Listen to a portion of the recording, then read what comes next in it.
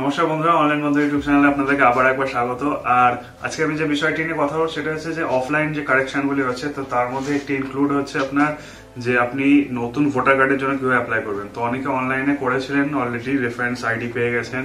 কিন্তু অফলাইনে এখন যেহেতু মানে আপনার ষোলোই ডিসেম্বর থেকে পনেরোই জানুয়ারি পর্যন্ত কারেকশন চলছে, তো সেই সঙ্গে সঙ্গে কিন্তু অফলাইনেও কারেকশন করা অফলাইনেও নতুন কার্ড নতুন ভোটার আইডি কার্ডের জন্য অ্যাপ্লিকেশন চালু হয়ে গেছে। তো আমি যে, তার জন্য যে ফর্মটি লাগছে ফর্ম সিক্স আপনারা জানেন সবাই ফর্ম সিক্স লাগছে ফর্ম ফিল আপ করার জন্য।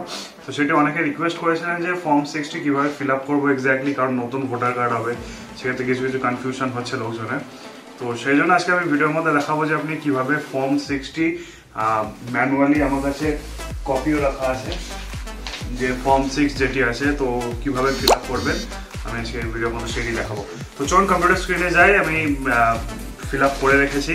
তো আপনাকে দেখিয়ে দেবো কীভাবে কী করে। তো কম্পিউটার স্ক্রিনে যাই, গিয়ে আজকে ভিডিও শুরু করি। আর যদি ভিডিও শুরু করার আগে যদি চ্যানেলে নতুন এসে থাকেন, তো আপনার কাছে রিকোয়েস্ট লাল বাটনে ক্লিক করে চ্যানেলটিকে সাবস্ক্রাইব করে দিন এবং বেল নোটিফিকেশন অবশ্যই অন করে দিন। তাতে যখন এই রিলেটেড কোনো ভিডিও বানাবো, সবার আগে আপনার কাছে এসে পৌঁছাবে। তো চলুন বিশ্ব নষ্ট করে আজকে ভিডিও শুরু করি।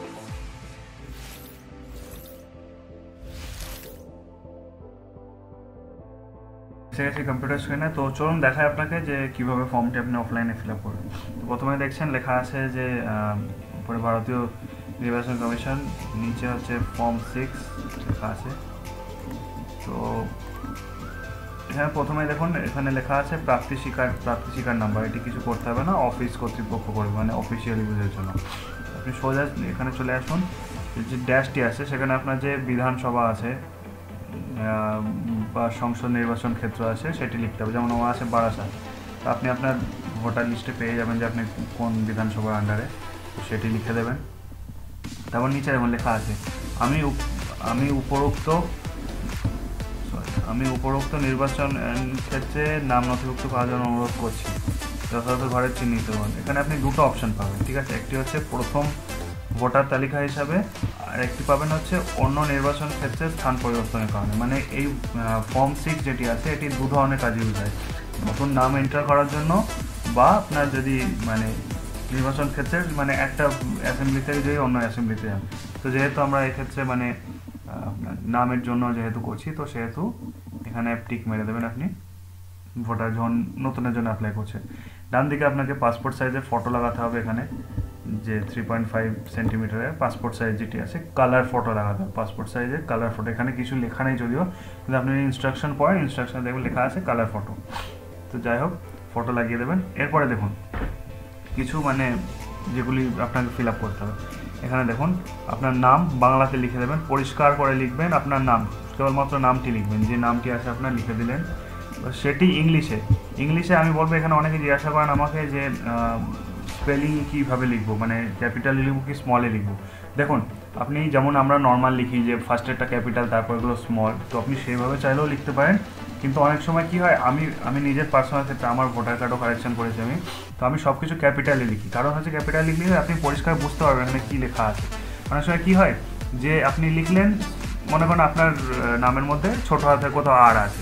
তো আপনি ছোটো হাতে আরটা এমন করে লিখলেন হাতে লেখা একজন একরকম হয় আপনি যখন এমন করে লিখলেন ওরা ভাবলো ওটা এন আছে। আর আর এন অনেকটা একই রকম দেখতে হয়, তারা ওরকম লিখতে গেলে। তো তারা এন ভেবে আপনার আরেক জায়গায় এন করে দিল। তাহলে কী হলো? আপনার গোটা নামটাই ভুল হয়ে গেল। ক্যাপিটালে লিখলে একটি সুবিধা পাওয়া যায় যে, দেখুন, প্রত্যেকটার সঙ্গে প্রত্যেকটা আলাদা। এখানে পরিষ্কার বোঝা যাচ্ছে আমি N A M E name লিখেছি। এবার এখানে আপনি ধরুন, যদি ছোটো করে লেখেন, অনেক সময় একটার ঘরে একটা উঠে যায়। তো সেই কারণে আমি বলব যে, পুরোটা ক্যাপিটালে আপনি লিখলে বেটার হয়। এবার বাকিটা আপনার বিষয়। এবার এখানে পদবি আপনার যে সারনেম আছে, সেটি লিখে দিলেন। বাংলাতে এবং অবশ্যই ইংলিশে লিখে দিলেন। তারপরে দেখুন, তারপরে হচ্ছে আবেদনকারীর এইটি ভালো করে দেখুন। আবেদনকারীর সরি আবেদনকারীর আত্মীয়ের নাম ও পদবী। ঠিক আছে, এখানে দেখুন দফা ঘ মানে হচ্ছে যে নিয়ম কারণ আছে, তার সেই লিস্ট থেকে আবেদনকারী হিসাবে দেখুন, কে আবেদন করছেন আপনার? এখানে এই যে ঘ যেটি আছে, আগে এটি আপনি দেখে নিন।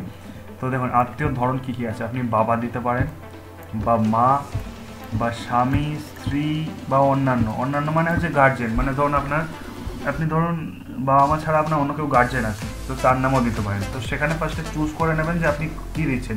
যেমন আমি এখানে বাবা দেখি, বাবা দিয়ে দিয়েছি সাধারণত, যেটা সবাই দেয় তো বাবার নামে টিক মেরে দেবেন, তারপরে এখানে যার নামে টিক মারবেন, বাবা হোক কি মা হোক কি স্বামী, যাই হোক, তো তার নাম এখানে আপনাকে লিখতে হবে। যেমন এখানে বাবা লিখেছি বলে, বাবার পুরো নাম লিখে দিয়েছি। মানে উইথ পদবি, ঠিক আছে? ফাদার্স নেম ফুল নেম পুরো নাম যেটা বলে। তো ফুল নাম আপনি লিখে এখানে দিলেন, নাম পুরোটা, নাম এবং সারনেম একসঙ্গে একই বক্সের মধ্যে হবে। এবার দেখুন, এখানে দিয়েছে যে বয়স চলতি সাল, এটা যেহেতু উনিশ চলছে দু হাজার উনিশ চলছে এখনও তিন দিন বাকি, কুড়ি হতে তো উনিশ সাল হিসাবে, উনিশ সালের পয়লা জানুয়ারি, এটি ভালো করে খেয়াল করবে, উনিশ সালের পয়লা জানুয়ারিতে আপনার বয়স কত ছিল, ঠিক আছে?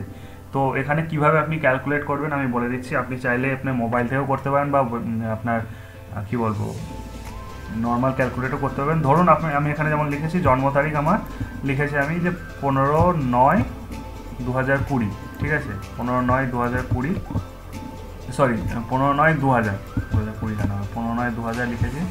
তো সেক্ষেত্রে আপনি কীভাবে বার করবেন? এক্স্যাক্ট বয়স আর মাস যেটি আছে, সেটি এক্স্যাক্ট কীভাবে বার করবেন আমি বলেছি আপনি সিম্পলি এখানে চলে আসবেন। তো দেখুন এখানে একটি আছে যে ওয়েবসাইট আছে time and date calculator time and date calculator আমি আপনাকে লিঙ্ক ডেসক্রিপশানে দিয়ে দেবো। তো আপনি এখানে চলে আসবেন, দেখুন, এখানে কাউন্ট ডেট আছে। তো আপনি স্টার্টিং ডেট ধরুন আপনার পনেরো নয় দু হাজারে আপনার জন্ম, আর যে ডেট রিকোয়ারমেন্ট এক এক দু হাজার উনিশ। করে আপনি এখানে ক্যালকুলেট ডেটে ক্লিক করবেন। এখানে আপনার কত দিন, মাস, কত বছর হয়েছে, সব লিখে দেওয়া লোডিং আছে। দেখুন, এখানে লেখা আছে, আঠেরো বছর, তিন মাস, সতেরো দিন হয়েছে তো আপনি এখানে সিম্পলি যে ফর্মটি আছে সিম্পলি যে ফর্মটি আছে, সেখানে লিখে দিলেন যে আপনার আঠেরো মাস সরি আঠেরো বছর তিন মাস হয়েছে। তো সেই হিসেবে আপনি ফিল আপ এটি করে দিলেন সিম্পল আমি লিঙ্ক ডিসক্রিপশানে দিয়ে দেবো। আপনার যে জেন্ডার আছে, স্ত্রী, পুরুষ যেটি আছে, সেটি দিয়ে দিলেন। আবেদনকারী সাধারণ বাসিন্দার নাম্বার মানে আবেদনকারী যেখানে সাধারণ বাসিন্দা, আপনি যেখানে এখন থাকছেন, বর্তমান ঠিকানা এটি দেখুন। বর্তমান ঠিকানা আপনার যেটা, সেটি আপনি এখানে লিখে দেবেন। বাড়ির নাম্বার পেয়ে যাবেন আপনি ভোটার লিস্ট থেকে। বাড়ির নাম্বার, যা যা লোকেশান আছে পিনকোড উইথ পিনকোড সব কিছু লিখে দেবেন। বাংলা এবং ইংলিশ। দুটো দেখুন, আমি মিক্সড করে লিখেছি। বাংলা এবং ইংলিশে। আর যে কটা ইংলিশে লিখেছি, দেখুন, আমি সব ক্যাপিটালে লিখেছি, যাতে কোনো রকম কনফিউশন না হয়। তো আপনি লিখে দিলেন আপনার পিনকোড এখানে আপনি দিয়ে দিলেন সুন্দর করে। এবারে দেখুন, ঝ যেটি আছে, সেটি হচ্ছে যে আবেদনকারীর স্থায়ী ঠিকানা। এটি হলো টেম্পোরারি ঠিকানা এই মুহূর্তে, আর এটা হচ্ছে পারমানেন্ট অ্যাড্রেস ধরুন আপনার বাড়ি সেম একই হতে পারে, যে আপনি যেখানে থাকেন সেখানে আপনার পারমানেন্ট অ্যাড্রেস তো সেম জিনিসটাকে আমি লিখিনি এখানে, আপনি সেম জিনিসটাকে লিখে দেবেন এখানে টাকি মানে সেম লিখবেন না মানে আপনার যেটি এখানে যা লিখে দেবেন সেম জিনিস তুলে যদি এটি আলাদা হয় পারমানেন্ট অ্যাড্রেস তাহলে যেটি হবে সেটি লিখে দেবেন। এই গেল ফার্স্ট পেজ এবার সেকেন্ড পেজের দিকে চলে আসি। পেজ গেল। সেকেন্ড পেজ দেখুন। ইও বলেছে হচ্ছে ইপিক নাম্বার করে নিই আমি। ইপিক নাম্বার যদি প্রদান করা হয়ে থাকে ইপিক নাম্বার যদি প্রদান করা হয়ে থাকে, এবার আপনি যেহেতু নতুন করছেন, সেহেতু আপনার কোনো ইপিক নাম্বার থাকবে না, নতুন অ্যাপ্লাই করছেন, এটি তাদের জন্যই যারা অ্যাসেম্বলি চেঞ্জ করছে তাদের জন্য। আপনি যেহেতু নতুন করছেন, আপনার ইপিক নাম্বার থাকবে না, আপনি ছেড়ে দিন। ঐচ্ছিক ইত্যাদি, তথাদি। ঠিক আছে, এখানে হচ্ছে আপনার যদি কোনো শারীরিক অক্ষমতা থাকে সেটি লিখতে পারেন, যদি না থাকে ছেড়ে দিন। ইমেল আইডি আপনার ঐচ্ছিক ব্যাপার, যদি আপনি চান দিতে পারেন, না চান ছেড়ে দিলেন আপনি, আমি বেটার মনে করি দিয়ে রাখুন, কারণ হয়তো ভবিষ্যতে কিছু হলো যে তখন ইমেল আইডি দরকার হবে, তখন আবার আপনাকে ইমেল আইডি অ্যাড করার জন্য দৌড়াদৌড়ি করতে হবে। তো যেহেতু করছেন কমপ্লিটলি করে নিন, ইমেল আইডি এখানে এন্টার করে দিন। তারপরে দেখুন, মোবাইল নাম্বার ঐচ্ছিক, অনিচ্ছিক। আপনি মোবাইল নাম্বার অবশ্যই দেবেন, ভোটার কার্ডের ক্ষেত্রে মোবাইল নাম্বার যেটি আছে সেটি দিয়ে দেবেন এবার এখানে কিছু ঘোষণা আছে। ঘোষণাগুলি কী আমি একবার বলে দিচ্ছি। এখানে লিখছে যে আমি এতটা ঘোষণা করছি যে আমি একজন নাগরিক, কোন রাজ্যের নাগরিক সেটি লিখে দিলেন। কোন রাজ্যের নাগরিক সেটি লিখে দিলেন। আপনার জেলা যেটি সেটি লিখলেন। আপনার গ্রাম বা শহর যেটি আছে যেখানে জন্মেছে সেখানে লিখলেন। আপনি এটা চাইলে মানে ধরুন আপনি লোকেশান চেঞ্জ নতুন, আমি এটা একমাত্র নতুন কার্ডের জন্য বলছি, ঠিক আছে? তো আপনি ধরো আপনি লিখে দিলেন। এবার এখানে লিখলেন যে আপনি যে স্থানটি যে অ্যাড্রেসটি লিখেছেন মানে হচ্ছে আপনার এই যে ঠিকানাটি আপনি লিখেছেন, এই ঠিকানাতে কবে থেকে আছেন? আপনি যদি জন্ম থেকে থাকেন, তাহলে জন্ম তারিখ যেটি আছে সেই ডেটটাই দিয়ে দেবেন। যদি আপনি পরে এসে থাকেন বা কিছু, আপনি যে ডেট থেকে মানে আপনি যদি ওখানে জন্মান, তাহলে সেম ডেট দিয়ে দেবেন আপনার জন্ম যে তারিখটা আছে, যে আপনি জন্ম থেকে ওখানে আছেন, সেই অ্যাড্রেস সেই তারিখটা আপনি এখানে দিয়ে দেবেন এবার দেখুন, তিন আছে, আমি অন্য কোনো নির্বাচনের ক্ষেত্রে নাম আমার নথিভুক্ত আবেদন করিনি। মানে আপনি এখনও পর্যন্ত কোথাও কোথাও অ্যাপ্লাই করেনি কিছু করেনি চার নাম্বার পয়েন্ট আছে যে, আমার এই বিধানসভা নির্বাচনের ক্ষেত্রে কোনো রকম নাম নথিভুক্ত হয়নি, অথবা আমি পূর্বে সাধারণভাবে বাস করেছিলাম, সেখানে নির্বাচন তালিকা হয়ে থাকতে পারে। যদি তা হয়ে থাকে, তবে ওই নির্বাচন নির্বাচন তালিকা থেকে বাদ দেওয়া অনুমতি আছে। এটি অ্যাকচুয়ালি আপনার মানে নতুন অ্যাপ্লাইয়ের ক্ষেত্রে না। এটি যারা মানে বিধানসভা চেঞ্জ করছে অ্যাসেম্বলি চেঞ্জ করছে, তাদের জন্য। আপনি যেহেতু নতুন অ্যাপ্লাই করছেন আপনাকে কিছু করতে হবে না। সিম্পলি এই তিনটে আপনি ফিল করে দেবেন দিয়ে বাস। এবারে দেখুন, এটি হচ্ছে একমাত্র যারা পুরনো অ্যাপ্লাই করছে চেঞ্জ করছে তাদের নতুনদের জন্য এখানে কিছু নাই। এটা এখানে না করলেও চলবে। এখানে ছেড়ে দিন।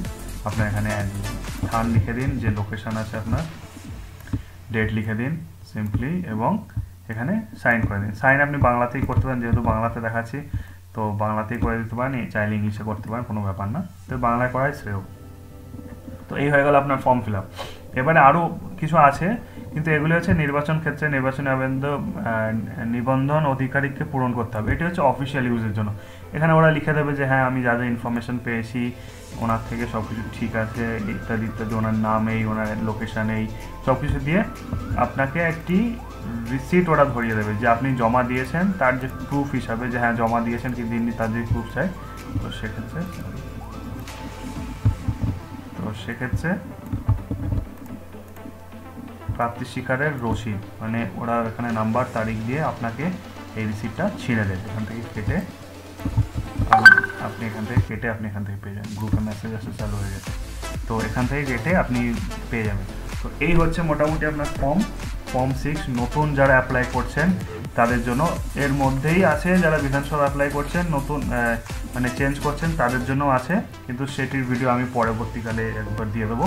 এখন যা সেটি নতুন ভোটার যারা, আবারও বলছি, যারা একমাত্র প্রথম ভোটার হিসাবে, তাদের জন্য এই ভিডিওটি তো ভিডিওটি এই পর্যন্তই। আশা করি বোঝাতে পেরেছি।